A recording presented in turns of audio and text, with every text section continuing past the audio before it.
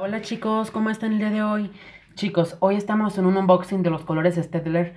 Eh, la verdad estos colores ya los había visto muchísimo, había escuchado muchísimas cosas de estos colores, que eran una marca de colores muy buena. En sí había escuchado maravillas sobre estos colores. Eh, eh, ayer encontré la versión de 12 piezas, que fue la más alta que pude conseguir. No pude encontrar la de 24, pero como saben la estaré buscando. Antes de comenzar con este video, quiero mandar dos saludos muy especiales a el Pipe Tans y Vapers. Un saludo para ustedes y muchísimas gracias por estar aquí. Espero haberlo pronunciado bien. Bueno chicos, comenzando con, con, este unboxing. Eh, esta versión de 12 piezas de Stedler me costó 60 pesos mexicanos. La verdad no sé si el precio ya cambió porque en el centro de arte donde yo los compré se podría decir que es un precio viejo. Ya no es un precio actual.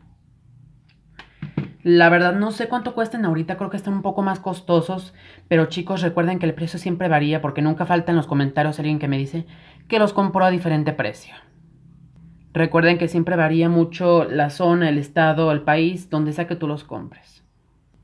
Muy bien, como podemos ver dice Stellar Norris Club, dice lápices de color, aquí nos tiene un dibujo como de una mariposa, dice protección en la mina, que son estas cosas, me imagino este como como cosa blanca que tiene en la punta.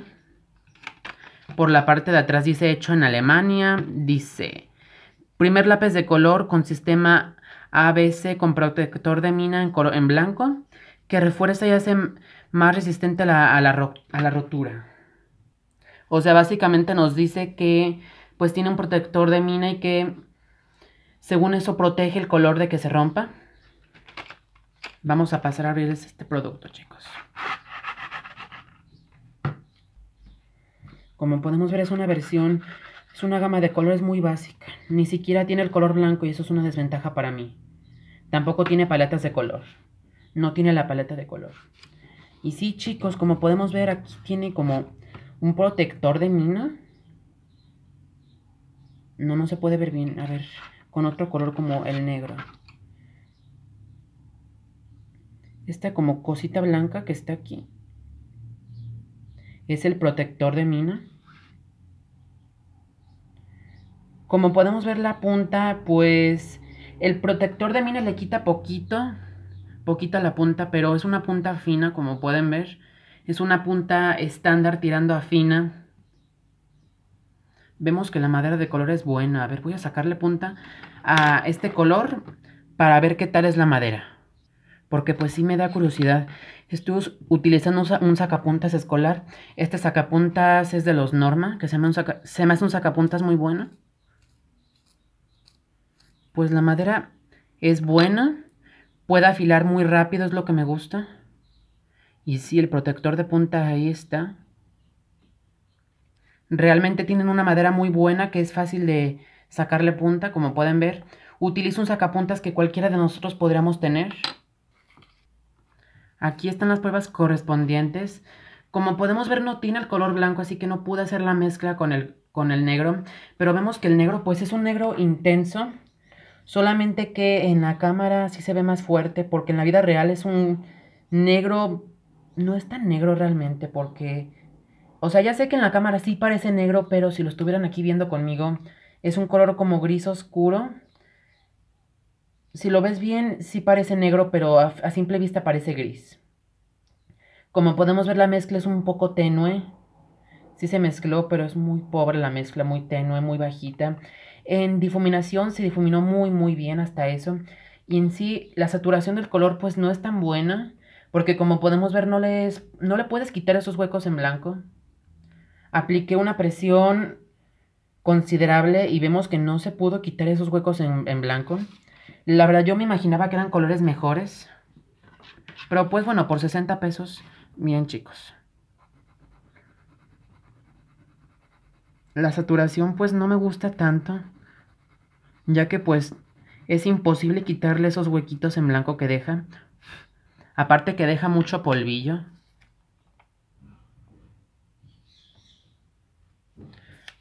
Como podemos ver es una versión muy económica de esta marca porque me costó 60 pesos mexicanos. Además que tiene una versión de colores muy básica. Realmente yo considero que deberían tener un color blanco, pero pues no, eso es una desventaja para mí muy, muy grande. No vimos el serigrafiado, que eso se me, casi se me pasa. Muy bien. Aquí está el serigrafiado. Como podemos ver dice Made in Germany, hecho en Alemania. Dice Stedler, Norris Club y tiene un número que es 144 CE. No tiene el nombre del color, pero sí tiene un número, una seña. Pero creo que todos los colores tienen ese mismo número. Yo pensaba que era el lote del color, pero no. Sí, todos los colores tienen el 144. Una desventaja muy grande. Aquí te estaré dejando las pruebas para que tú las juzgues. Tú eres el juez en este canal. Bueno, chicos, realmente estos colores me decepcionaron un poco, ya que yo, yo me esperaba más de estos colores. Yo pensaba que eran colores muy buenos porque había escuchado maravillas sobre estos colores, pero ya me di cuenta de que son buenos y no diré que no, pero realmente no son la gran cosa. Me decepcioné mucho porque no tienen una gran saturación y la mezcla es muy tenue, como pueden ver. Pero pues están bien, están económicos, se podría decir, ya que actualmente no sé el precio de una versión de 24. Voy a, estaré buscando la caja de 24 piezas y se, se las estaré dejando aquí.